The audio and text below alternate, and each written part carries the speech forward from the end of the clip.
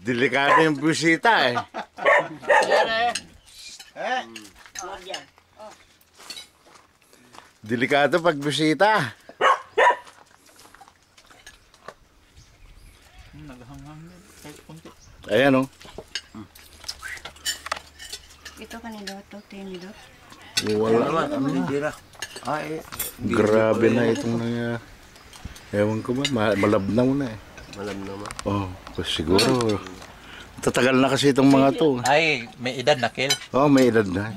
Ibig sabihin, Sige na. kayo. Lulot na ito. Lu- Lulot na. Kailangan, hindi kasi hindi naman laging pa, habang panahon eh, ano to eh.